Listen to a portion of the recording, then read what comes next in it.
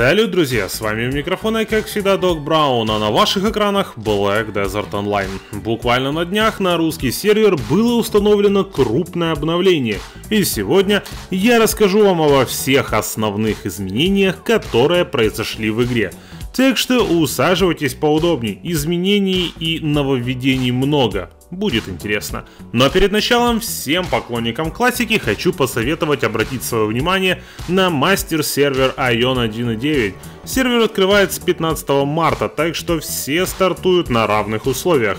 В игре вас ждет 8 игровых классов, 50 уровней прокачки и приятные x2 рейты. Также на сервере есть некоторые особенности, которые делают игру более приятной как для любителей PvP, так и для поклонников PvE.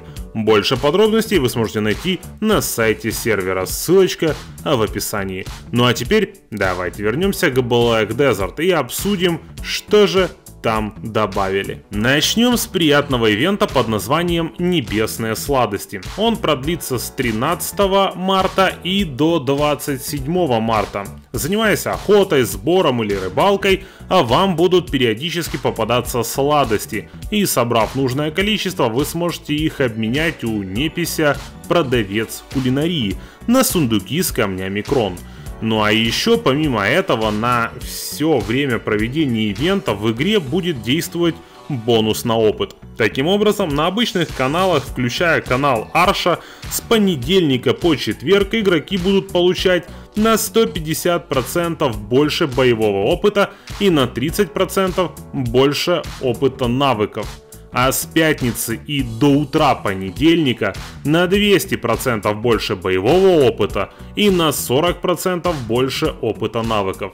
По-моему, достаточно неплохо. А в общем, самое время качаться. Кстати, чуть не забыл, в честь обновления был добавлен новый ивентовый календарь. Так что помимо стандартных плюшек за вход, вы будете получать еще и дополнительные, среди которых найдутся сундуки с разными ништяками, печенюхи и многое другое. Также по случаю обновления в донат-магазин завезли новые наборы с плюшками, нового питомца Красный Дракончик, а также скидки, что тоже немаловажно. Но само собой, все это хоть и приятно, но не является основной частью обновления. Самое главное, это, пожалуй, новая локация Дриган, которую наконец-то ввели в игру. Стоит отметить, локация большая и очень красивая, так что ее интересно исследовать. Конечно же, с новой локацией появились новые категории знаний.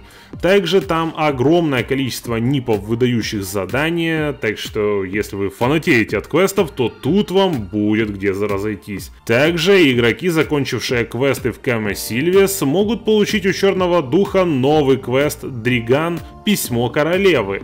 Это задание предоставит еще больше информации о новом регионе. Ну а еще добавлю, что если вы без проблем прошли Камасильву, то монстры с земель Дриган не доставят вам особых проблем. Помимо всего вышеописанного, с этим обновлением произошло еще много разных мелких изменений в игре. Например, теперь нет лимита на получаемое из писем серебро, а в своем инвентаре также теперь можно переносить более 100 миллионов серебра. Лимита также больше нет, что очень удобно. Также появилась новая иконка, которая называется «Сундук с подарками Черного Духа». Теперь именно там вы будете забирать награду за рейтинг семьи и награду с сумречной арены.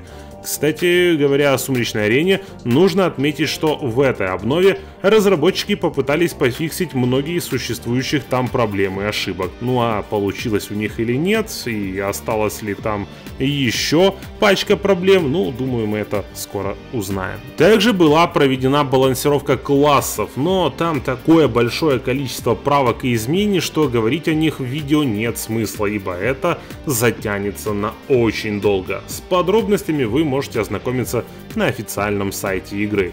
Ну а еще помимо всего вышеперечисленного, данное обновление добавляет в игру массу новых предметов, включая новые виды интерьера, новая броня синего ранга, новая босс-шмотка, перчатки Либра и много чего другого, включая итемы для обмена на разные ништяки у неписей. Также появились новые монстры и даже новый мировой босс Красный Дракон Камас. Короче говоря, Если подытожить, то обновление получилось очень насыщенным, как в отношении нововведений, так и в отношении разных исправлений. На этом все. Подписывайтесь на канал, чтобы быть в курсе всего самого интересного и жмите на колокольчик. А еще заглядывайте на наш ютубовский стрим-канал. Там у нас проходят ламповые эфиры по самым разным играм. Ссылочка на него а в описании. Всем вам удачи и до скорой встречи. Пока-пока.